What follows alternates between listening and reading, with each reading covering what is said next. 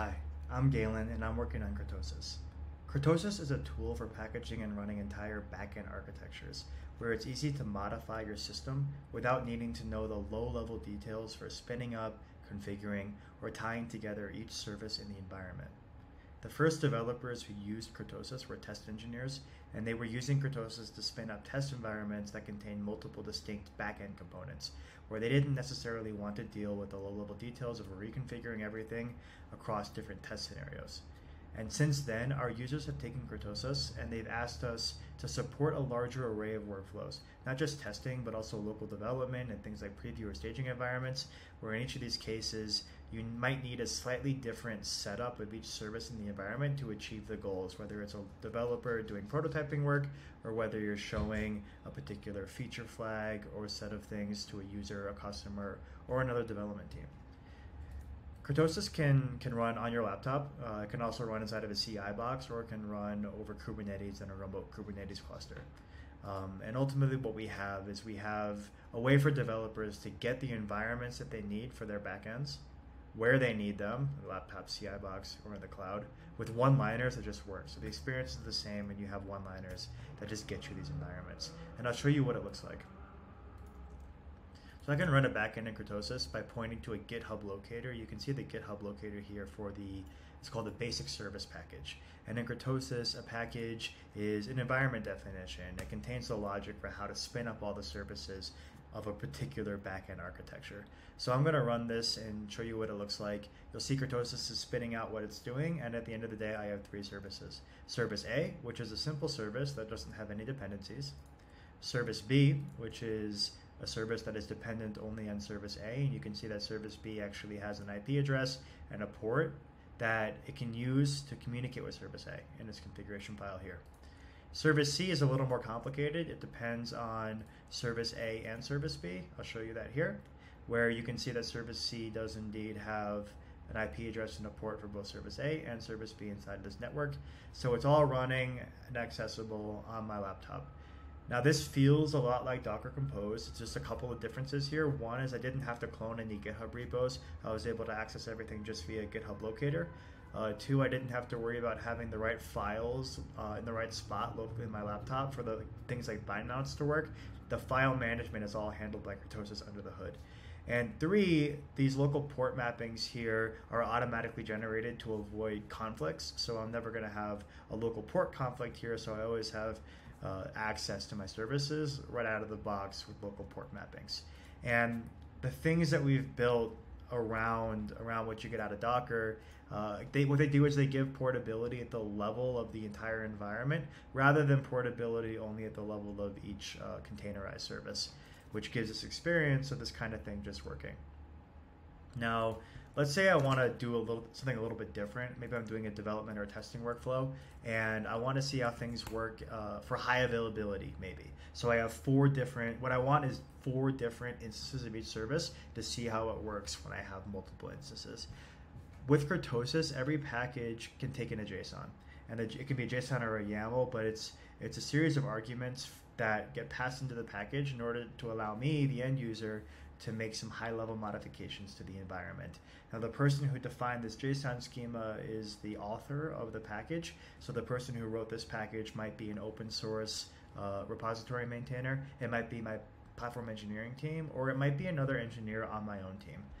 Now, for me to use this, all I have to know is what does the JSON schema look like. So I'm going to pass in this JSON where I ask Kurtosis to give me four instances of each of these services.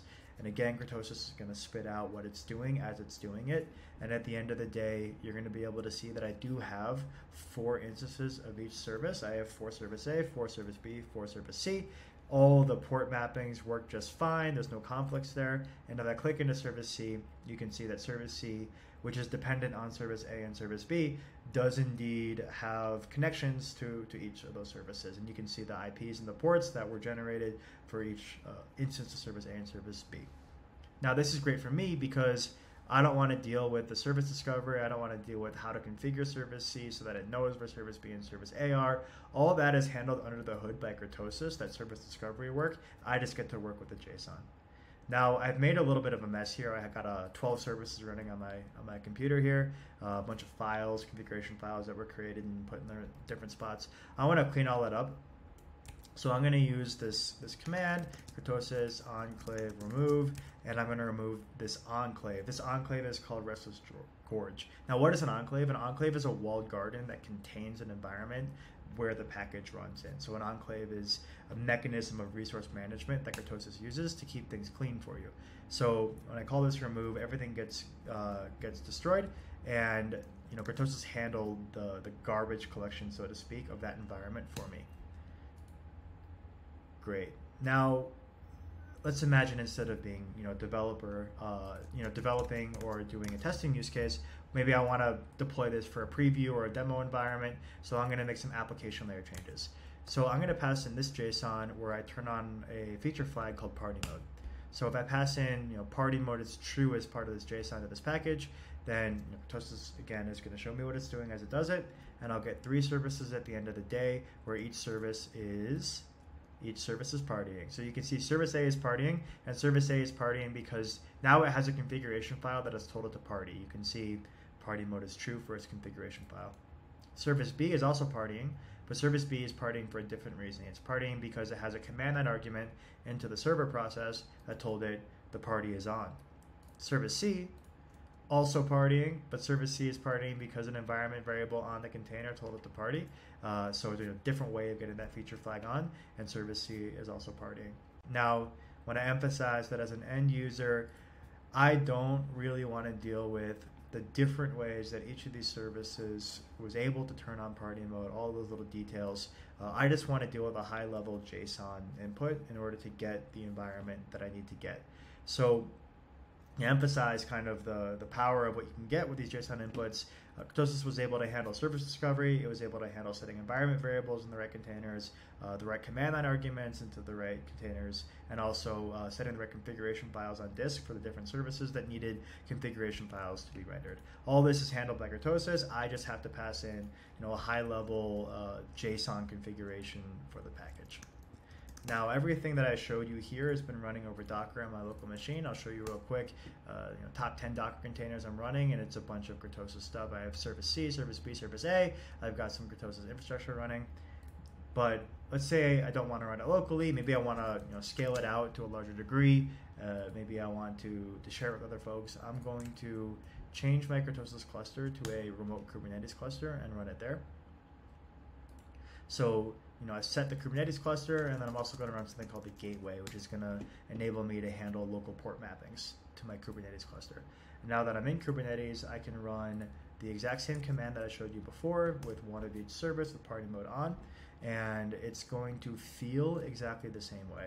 So Kurtosis is going to tell me what it's doing as it's doing it. It's going to you know add each of these services into my Kubernetes cluster, and it's going to handle the port mappings to my local machine as well so that I can click into these services. So you'll see here everything ran successfully, service A, service B, service C, and I can click into service A and I have the nice UI on my local machine, service B, and service C. All running not on Docker now, but in Kubernetes. And if you, if you don't believe, uh, I can show you the namespace that this uh, this environment's running in, and you can see that you know this there's pods running here. There's a Kurtosis controller pod, and then there's three services A, B, and C running in Kubernetes. So if you like what I showed here, please visit us on GitHub. Our source code is available, and you know Kurtosis is free to free to use. You can download it from our GitHub. Please visit and give us a star if you liked it. You can also check out some example packages we have on Awesome Kurtosis. Uh, on Awesome Kurtosis, you can see a wide variety of backends that we've built examples for, so you can you can start playing around with with what is out there already. And if you are motivated from this to write your own package for your use case, you can go to our docs. And our docs, we actually have a 15 minute uh, writing a package quick start where you can get in there and you can start writing your own package. And if you have questions, comments, feedback, you can pop into our dis- our uh, discussions on GitHub, and we monitor this and I'll be answering all of your questions and everything there. And if you want to chat with us, you can go to our Discord with this command, Kurtosis Discord, and that'll pop open our community, and we will be there to support you. So thank you for your attention, and I hope to see you in our community forums.